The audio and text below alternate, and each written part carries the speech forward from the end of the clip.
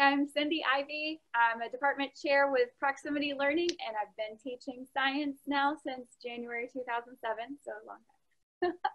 One of the questions that we get a lot here at Proximity is, how do you do labs?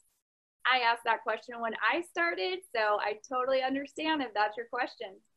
There are three ways that we do labs, and I've tried all of them, and they're fantastic.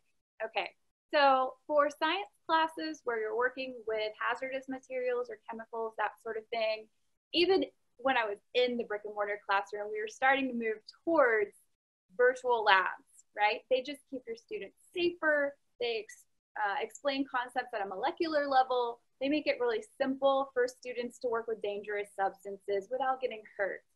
Um, also great for biology students who don't really want to dissect something, right? So virtual labs are a fantastic way uh, to do that. Let me share with you some things that you can do in a virtual lab. So here's an example. When you open it up, it would look like this. There's an introduction section for the teacher so that you can show what each item looks like. You can talk about it. You can show graphs. Um, you can show uh, titration levels.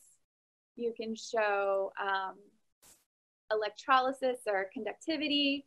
So there's, you know, there's a variety of ways that you could present the information here, depending on how you're teaching acids and bases, whether you're teaching to physics students, chemistry students, or physical science.